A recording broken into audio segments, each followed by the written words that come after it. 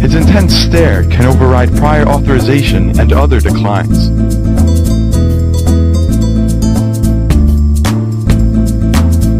Prescriptions prepare themselves for him.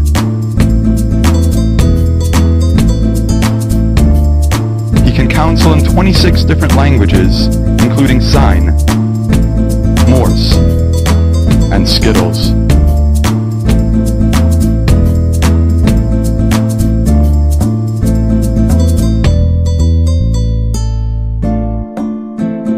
He can immunize 6.4 patients per second.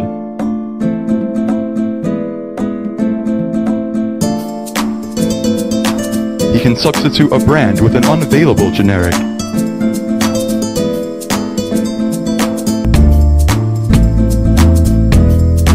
He is the most interesting pharmacist in the world.